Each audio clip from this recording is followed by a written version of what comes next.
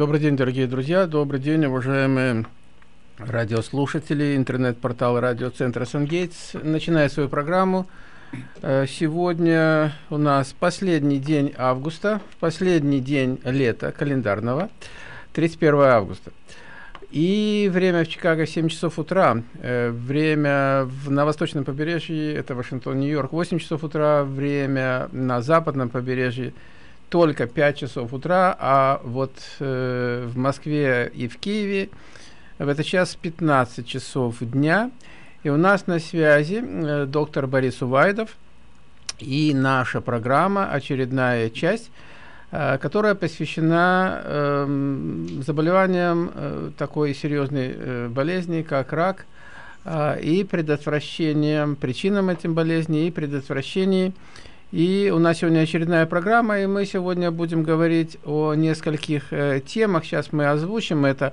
Я только хочу сказать о том, что э, если кто-то хочет задать свои вопросы, поделиться своим мнением, оставить свои комментарии, это тройное W sungatesradio.com, sungatesradio.com. Это э, наш Skype, sungates108. Вы можете там задать свои вопросы. Ну и Э, телефон 1847-226-9956.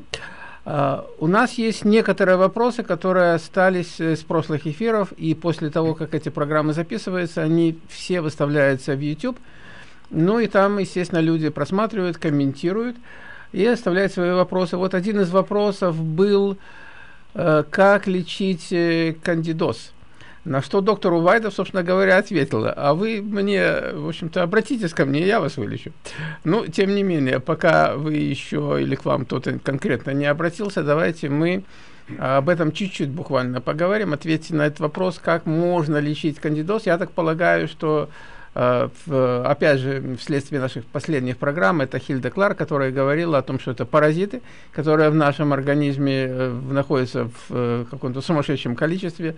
Ну, а кандида это, наверное, вот это вот и есть, как это лечить. Вам вопрос. Во-первых, здравствуйте. Здравствуйте, друзья. Начинаем нашу серийную программу. Надеюсь, будет сегодня очень интересно. И, конечно, вопрос о кандиде я бы сказал, что главная проблема рака – это есть э, паразитарные болезни, включая кандидоз. Вот. Э, кандидоз, он очень распространен по всему миру. За последние сто лет, ну, чтобы было понятно, в Америке болеет кандидозом в настоящее время статистически доказано, по американской статистике, 250 миллионов людей. Это какой большой процент. А еще столько людей болеет и даже не подозревает, не знает. 250 миллионов, вы говорите? Совершенно верно. Из 350-250 пораженных кандидозом. А доктора, медики, руки вверх, нет лечения. Назначают ни статина, ни статиноподобные. Они также вредны, как антибиотики. Кстати, одна из главных причин – это есть химизация, это лечение химией. Любой антибиотик – это и есть корм для этих паразитов, кандида альбиканс. Это дрожжеподобная инфекция, которая поражает слизистые оболочки, поражает кожу, поражает внутренние органы, нервную систему, вот, э, и ведет к стопроцентной смертности. Значит, это предраковое состояние, которое переходит в рак. Так я сразу оговариваюсь, что много ученых, которые склонны верить ученому, такому матерому ученому, доктору Тулио Симончини, который доказал, что рак это и есть кандидоз.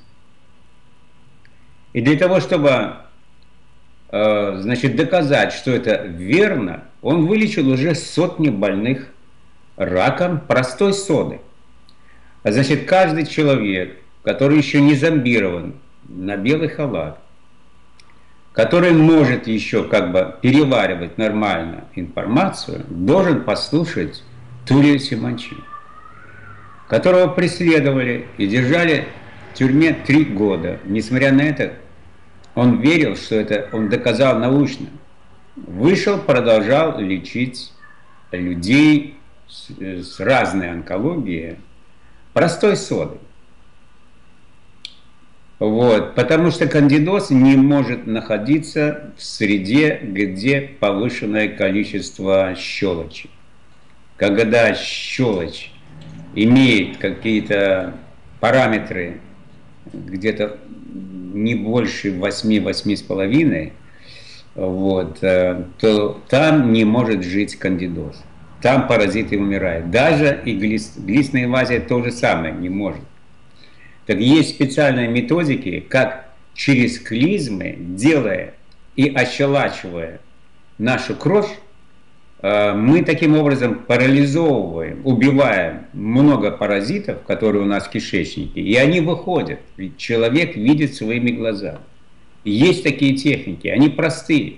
И каждый человек это может делать дома. Значит, кандидоз в 90-х годах э, это была закрытая тема, поскольку в Америке э, значит, э, кандидозом занимались военные структуры. Они хотели взять на вооружение, как запустить кандидоз и сделать как биологическое оружие против врагов своих. Вот тогда была война во Вьетнаме. Это еще было... В каком году была во Вьетнаме война? По-моему, в хрущевские времена. В 70-х годах? Да, хрущевские времена. То вот они хотели, значит, э, кандиду, значит, запустить среди населения во Вьетнаме для того, чтобы разрушить и расстроить э, солдат и офицеров.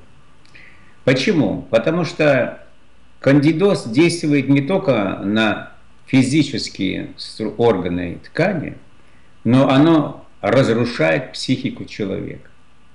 Особенно, когда медики лечат кандидоз э, нестатиноподобными э, лекарствами или же антибиотиками, или гормональными, вот, или жаропонижающими. Любая химическая таблетка вызывает колоссальный рост этих э, дрожжеподобных грибов, которые, размножаясь, уничтожают все живое.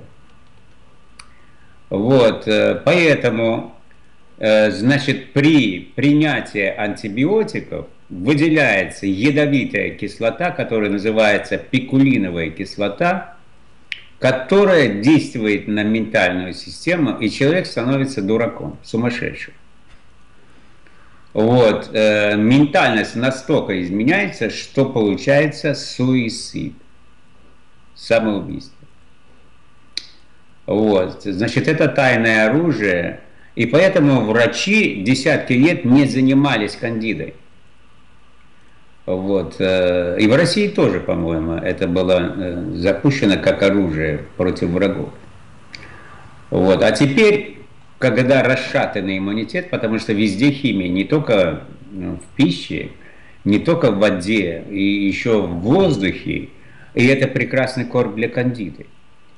Оно расшатывает все виды э, иммунитета, и местного, и общего иммунитета. И, э, естественно, там, где расшатывается иммунная система, там процветает рак. Вот. Э, значит, для того, чтобы вылечить кандиду, это нужно искусство, Миша. Не каждый врач может вылечить кандиду.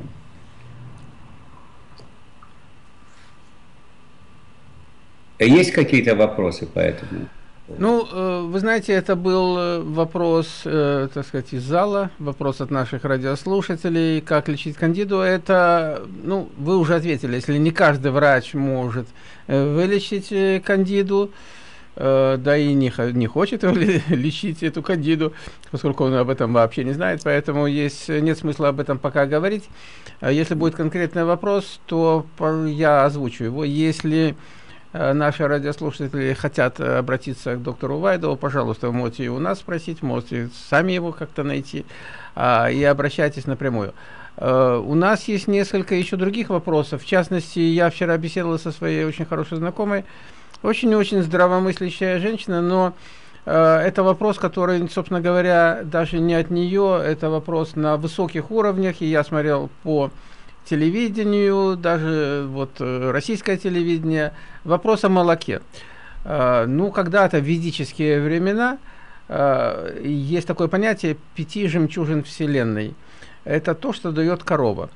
И, ну, в первую очередь, конечно, он дает молоко, и вот э, назову только три, две не буду называть. Значит, самые три э, жемчужины, самое главное, это коровье молоко, это йогурт и это топленое масло. Ну вот, оказывается, у нас э, в мире существует много сегодня гуру, которые э, вещают, как надо себя вести, что надо есть, что надо пить. Ну и в частности идет э, категорическая вот такая вот целенаправленная борьба против молока, ну, если бы пастеризованного, понятно, но против любого молока, что это, короче говоря, очень и очень вредно. Ну, наверное, есть основания, те люди, которые как раз-таки болеют раковыми заболеваниями, заболеваниями им не э, рекомендуется, мягко говоря, пить или вообще отказаться от молока, возможно. Вот сейчас вы ответите, вот у меня стоит бутылочка с молоком, это молоко, которое от то, что называют у нас сегодня э, raw milk, э, вот я его пью. Э, ну, жив и очень неплохо себя чувствую. Э, ну, наверное, потому что, или, возможно, потому что у меня нет каких-то серьезных проблем. Как вы ответите, пожалуйста, на этот вопрос по поводу молока? Ну, только если коротко, иначе мы не перейдем к нашей теме главной, которую мы наметили на сегодня. Значит, есть народности, которые не переваривают э, молочные продукты вообще. Северные народы, прибалтийские народы, русские, э, они неплохо переваривают. Но с возрастом э, степень перевариваемости из-за уменьшения энзимов в желудке и кишечнике падает. Поэтому э, в большинстве случаев после 40 лет я не рекомендую есть вообще молочные продукты, за исключением сливочного масла. Не пастеризованного. Да, именно не пастеризованного. Э, можно сливки тоже. Если не будет пучения, если не будет образоваться газы, если не будет образовываться значит, запоры, и человек чувствует себя хорошо, то он сам может себе сделать вывод, что молочные продукты идут ему на пользу. Но больному человеку я не рекомендую вообще потреблять до полного выздоровления.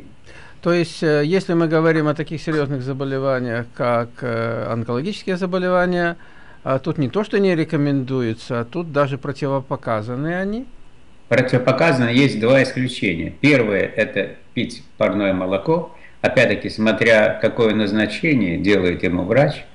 Вот. Э, если он правильно э, значит, назначает ему, дает ему очистительную диету, бесслизистую, можно э, пить только парное молоко или сыворотку. Сыворотка прекрасно выносит все отравляющие вещества, находящиеся в лимфе, вот, в крови и выносит это через выделительную систему. Поэтому сыворотка, особенно козия, она очень полезная как лекарство. Период болезни. А скажите, если человек здоров, нету никаких э, у него показаний для того, чтобы пить сыворотку, кроме того, что он знает, что это полезно, а, то первое – может ли он ее пить или должен он ее пить. Второе, в, как, в течение какого времени. Говорят, на, э, так сказать, вот человек проснулся, он может просто на пустой желудок выпить сыворотку, и это очень хорошее очистительное средство. Совершенно верно. Я думаю, может всю жизнь пить сыворотку. В любое время дня? В любое время дня, когда, когда он хочет. Можно за два часа перед сном, можно утром, но не с пищей. Вообще ничего пить не, не положено с пищей. Угу. Или за полчаса до еды, за 20 минут, или через полтора часа после еды. В зависимости, что он ест.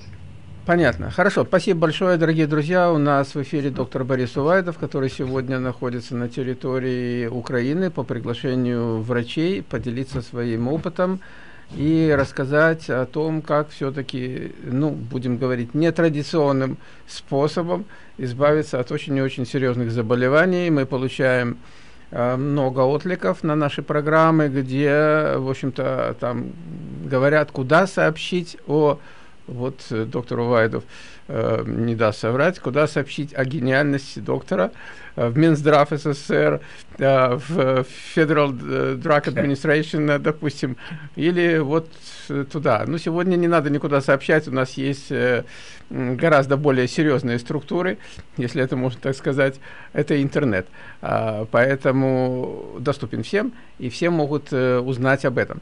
А, о молоке буквально я от себя добавлю, простите, несколько слов. Дело в том, что э, сегодня мы относимся к молоку как к продукту питания. Если мы относимся к молоку как к продукту питания, который может и не перевариваться, то без сомнения это все правильно, как говорится, и там, и там, с той стороны, и с этой стороны.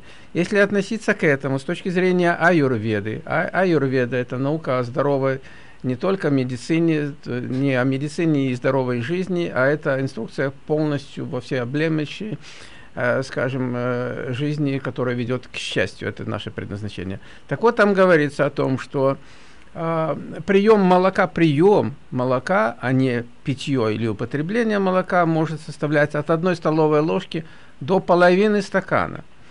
А, то есть это употребляется только с одной целью. Не для переваривания, это не продукт для переваривания, и действительно после там 40 там, лет, а сегодня еще может быть и ранее, он не переваривается нашими желудками. А, то есть э, молоко надо пить в определенное время. И это время ран, раннее утро, ну, как максимум до 8 часов утра или после 8 часов вечера. То есть в этом случае этот продукт лежит у нас в желудке, и для какой цели он служит? Для очищения тонких тканей головного мозга. Иными словами, он дает человеку мудрость и понимание, как надо себя вести. Все остальное можно спорить, можно верить, можно не верить. Это информация, которая, если вы захотите, э, вы можете воспользоваться, дорогие наши э, друзья, уважаемые наши радиослушатели, к которым я и обращаюсь. А, поэтому, если у вас есть какие-то вопросы, пожалуйста, пишите, мы далее ответим на них. Ну, а сейчас э, давайте мы все-таки перейдем к нашей основной теме нашей программы. И у нас сегодня некоторые моменты мы можем осветить, то, что предложил доктор Увайдов, которые могут привести к раковым заболеваниям. Одна из них это употребление пластиковой, скажем, посуды, да, а, и не только посуды, в общем, э, каких-то пакетов пластиковых, каких-то пленок пластиковых и так далее, правильно? Совершенно верно. Угу. Значит, э, вообще пластика – это продукт, который запустили цивилизованные страны. Сто лет тому назад и вообще десятки тысяч лет э, цивилизации вообще не знали, что такое пластик. Это, ну, пластик это химия. Это химия, да. Она, вот даже вот смотрите, если вода находится в пластиковых вот этих баллонах и так далее, она немножко как бы вылизывает и растворяет частички пластика. И это будет у нас в крови, как ни странно. И, но если еще нагреть этот пластик, то выделяется уже токсичный раковый элемент, называемый диоксином. Диоксин, он э, очень токсичный. Вот представьте себе пластиковые зубы. То же самое со слюной, получается просачивание. Оно идет в желудок, потом идет в кишечник и в кровь. И это 24 часа, если это протезы. Вот. Такого не было вообще. Э, вообще заболевания зуб, десен, это все продукты цивилизации, и это питание, образ жизни, мышление. Вот. Э, таким образом, э, раньше в древности что было? Из гончара, да, гончарная глина была, потом ее обжигали. Вот это была посуда.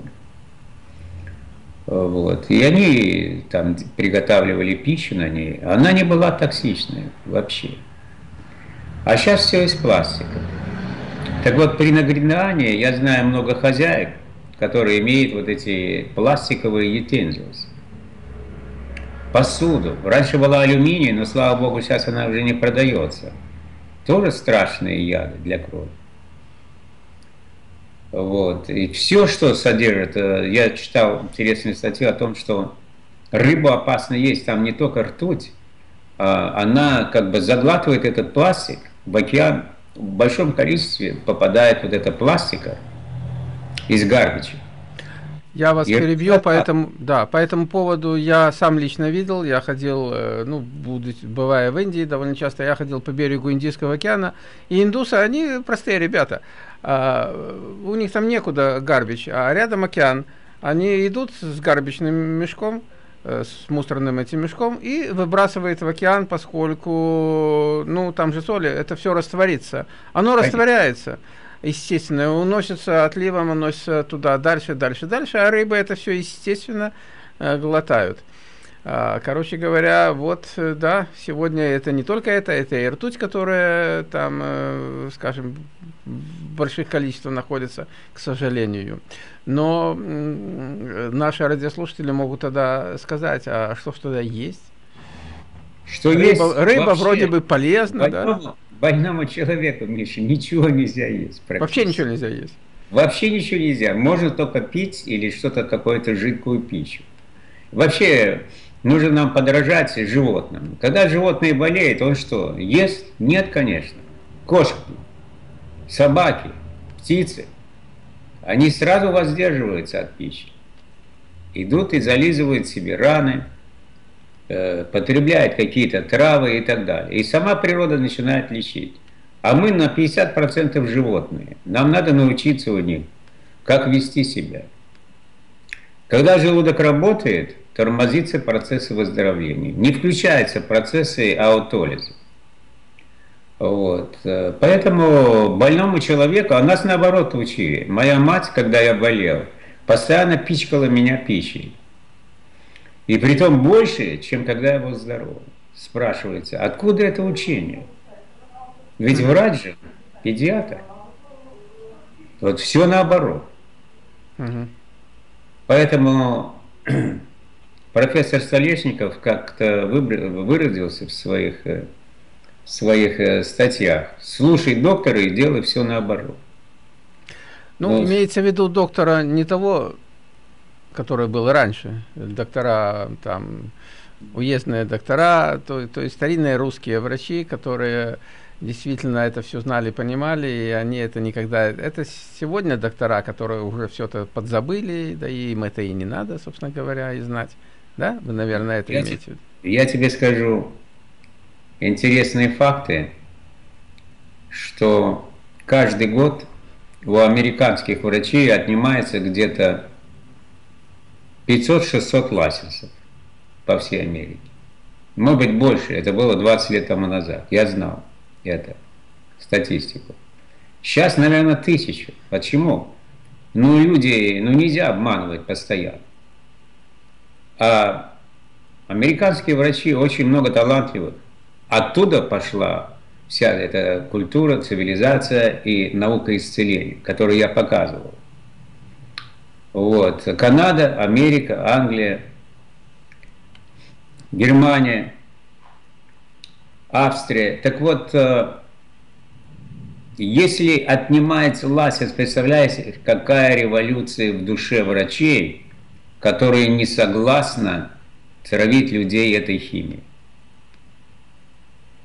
Отнимая лайсенс, врач превращается в нищего, нищего совершенно человека он должен идти работать на такси. Ну, вот. вы знаете... Но несмотря, несмотря, на, несмотря на это, продолжается рост и развитие врачебной этики, науки, и это все будет прогрессировать. То, что оставили, забыли, это будет обязательно возвращаться. Вот. Мои ролики. На моих роликах сейчас учатся студенты мединститута Баку, Грузии. Почему-то оттуда началось. То есть они очень серьезно относятся. И один, э, значит, врач, который кончил э, в Киеве э, мединститут, институт, по-моему, Богомольца, медицинский институт, шесть лет проучился, бросил. Он не стал лечить, потому что понял, что это все научный обман. У него не, не было совести э, вот, заниматься вот этим врачеванием, так называемым. Он пошел в бизнес.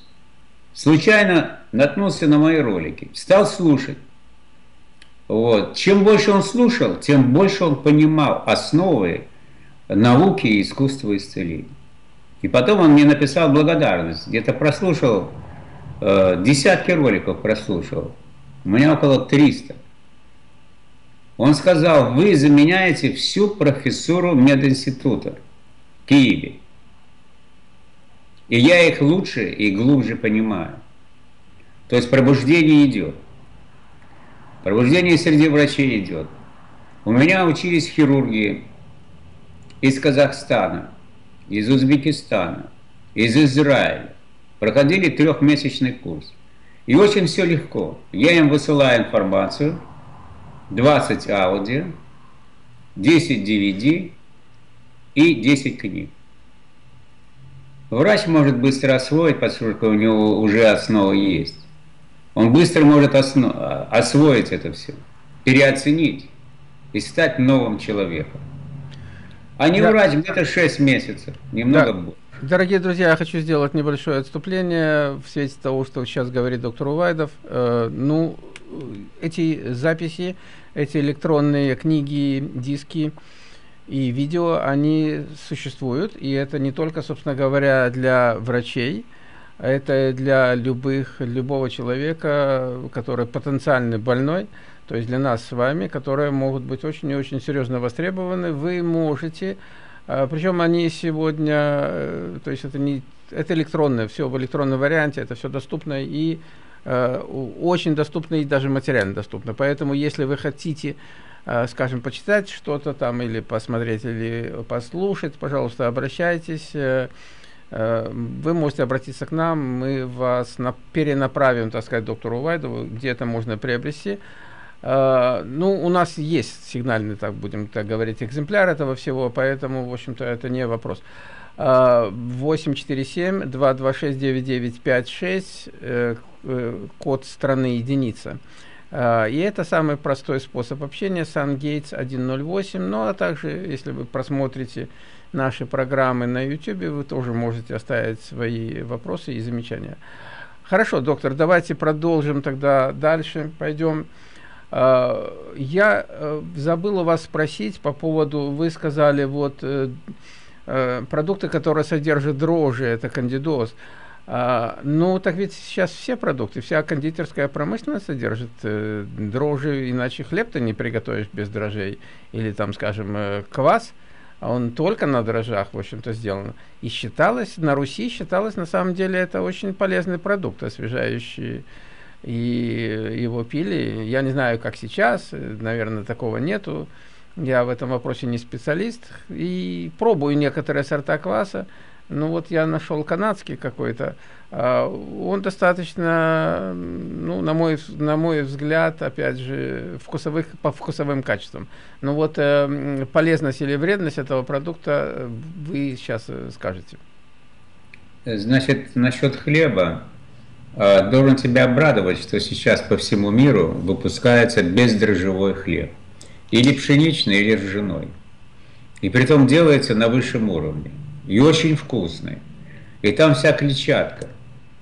Вот. Ну, надо немного подсушивать его в небольшом количестве. Вообще, э, значит, вот этот грибок кандида, он очень любит э, углеводы. Он питается углеводами и питается сахаром. Вот все газированные напитки, Кока-Кола, э, квасы, все фрукты и сухофрукты, которые содержат большое количество сахарозы, глюкозы, они питают эту инфекцию. Значит, практически э, я вот перечитал очень много научных статей, и мне больше всего понравилась диета, э, значит, Шевченко. Николай Шевченко написал много книг, безнадежных больных нет. Лечил он, значит, э, водкой и подсолнечным маслом. Уже более 20 лет. Это все как бы по всему миру. И у него тысячи-тысячи последователей и тысячи вылеченных от многих болезней, включая, включая онкологию.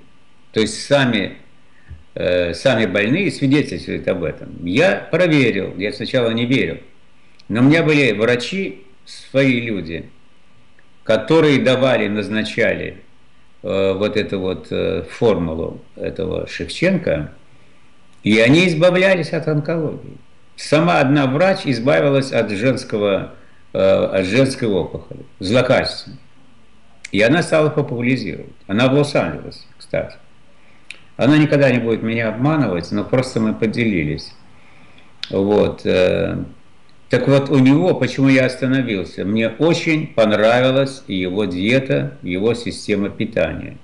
5% фруктов, 10-15% э, бобовых, жир, жиров тоже где-то 10%, это авокадо, это оливки, это может быть сало, вот, 5% э, углеводов.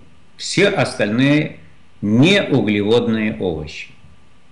Что, а, что такое углеводные овощи? Это тыква, это свекла, это морковь, это кабачки. Вот. Они тоже выделяют сахар. Это каши. Кстати, все каши – это сахар. Ну, например, если ты съешь э, значит, чашку риса, то 2 столовые ложки сахара пойдет в кровь. И они будут кормить кандиду. Значит, за счет строгости вот этого питания люди, выздоравливая от кандидоза и одновременно выздоравливают от онкологии. Но не каждый выдерживает это. Потому что если сознание настроено, если человек понял, как важно здоровье, он может перестроиться. Есть разные другие системы, не только Шевченко. Давайте, э, если мы говорим о вы упомянули, э, что там надо употреблять алкоголь, давайте уже заодно и скажем, сколько прямым текстом там в а, день, а, значит, э, по его системе прием. 30 миллилитров и 30 миллилитров. Если запущена онкология, он 40 и 40. Значит, берется вот эта вот детская такая, да, вот, сосет ребенок, как называется, детская ну, э, бутылочка, да? Бутылочка, да. С сосочкой, да. И вот э, там меряется точно 30 и 30, а потом вот так 2-3 минуты. 30 вот так... миллилитров водки и 30 миллилитров... Миллилитров подсолнечного масла. Подсолнечного... Какого? Да, не рафинированного. Не рафинированного. Угу. И что? Вот здесь очень много хорошего отжима, все, и большое отличие, то, что продают в Лос-Анджелесе, и что здесь продают. Угу. Очень большая разница и по вкусу, и по качеству. И сколько раз в день? А, три раза. Значит, э, первый раз 10 дней, 5 э, дней перерыв. Опять 10 дней, 5 дней перерыв. Опять 10 дней, 2 недели перерыв. А потом обратно по 5 дней. И эти циклы минимум э, ну, 6 месяцев, от 6 месяцев до полтора-два года. Это тем больным, э, которые больны онкологическими заболеваниями. Да, это им, да, надо долго, длительно. А ну, другие... Но, но это не только, э, скажем, э, если человек продолжает вести образ жизни, который он вел, и питаться то, чем он питался, и Никакого вот это вот этот рецепт, нет. толка не будет. Значит, это все в комбинации с диетой, которую он же и рекомендует, правильно? Совершенно верно. Даже он еще запускает техники молитвы. Он верующий христианин. Вот, он указывает, что перед тем, как ты выпил эту смесь, ты должен помолиться обязательно. Это тоже энергия. Это Я уже сам, да. другие виды энергии, которые человек принимает. Да. И это все тоже в совокупности дает, поднимает общую энергию, угу. которая исцеляет. Угу. Ну, э, да, это очень интересно. Если говорить о молитвах или там мантрах, э, то, в общем-то, э, в некоторых традициях, в некоторых народностях, на Востоке в частности, существует, вообще-то говоря, да и раньше, и на Руси это было, существует такой обряд, традиция перед тем, как приступить к приему пищи, нужно произнести определенную молитву, мантру, ну и так далее. Поэтому это как раз-таки то, чего совершенно не принято э, в современном цивилизованном западном мире, особенно когда у нас люди ходят в рестораны до каких-то молитв, каких-то мантрах. А давайте скорее там нальем, э, и не 30 миллилитров на 30, а уж сразу так это... Пол-литра. Э, да, Вот. А, доктор, хорошо. А, вы знаете, очень интересно, как всегда, вопросов тут много. Мы заняли довольно значительное время нашего эфира ответом на вопросы. А, но, тем не менее, мы продолжаем встречаться, и все у нас идет по плану. А, так что мы встретимся в следующий раз. Если вы не хотите что-то еще добавить, э, в этот раз еще там пару минут у нас, наверное, есть. Э, что я хотел сказать, что есть очень много других методов, которые также доказаны. Вот. Это можно на интернете найти, что самый лучший антибиотик, который уже доказано, это серебряная вода. Вот. Дальше идут всякие essential oil, вот, эвкалиптовое масло, масло чайного дерева, оно очень здорово бактерицидно действует. Подарко, высший антибиотик. Прополис, высший антибиотик, антисептик. Они тотально действуют на этого, на этого грибка. Поддавляет. Гвоздика, пижма. Э, значит, э, корка зеленого ореха. Керосин, скипидар – панике разбегаются эти кандидозы при запахе керосина. Один из дедовских способов, который мой дед применял, и внутрь керосин, и мазал значит, стопы и одевал носки. До сих пор этот дедовский метод остался. Это как бы этот метод столетней давности, который до сих пор применяется при простудах, при ангинах, при гриппе, потрясающие. Один запах вызывает у них э, панику. У Если многих. говорить об антибиотиках природных, есть еще такой антибиотик, это э, китайская такая трава, она называется Golden Seal Root по-английски или корень золотой печати. Есть а, Да, природный антибиотик, вот в частности я его использую, если есть какие-то там показания для использования его. То есть, собственно говоря, как профилактика, в течение трех месяцев его можно пить, он не оказывает вредного влияния на организм. Uh, ну, только если длительный прием и нету показаний, действительно, нету каких-то болезней, то его не следует употреблять. Но а таким где-то месяца три, там, по одной капсулке и даже по 2-3 раза в день можно, в общем-то, пить совершенно безболезненно, именно для того, чтобы вот провести это внутреннее очищение. Хорошо, доктор, спасибо большое э, вам за ваше время в эфире. Дорогие друзья, э, я напоминаю о том, что у нас сегодня в эфире доктор Борис Увайдов, врач э, с почти 40-летним стажем, э, который написал книгу, которая является бестселлером во многих странах, называется «Победа над раком». А доктор Увайдов работал в течение очень многих лет э, в, на территории Мексики, в Тихуане, где яв, находится институт по э, как раз-таки раковых э, больных, там, где лечат по другим методикам, которые приняты в современном цивилизованном мире, в частности в Соединенных Штатах Америки. Там немножко другие, мягко говоря, законы, поэтому вы можете, пожалуйста, обращаться к нему, можете обращаться к нам, и мы вас э, перенаправим доктору Вайдову. Еще раз большое спасибо вам и до новых встреч. Э, всего доброго, здоровья.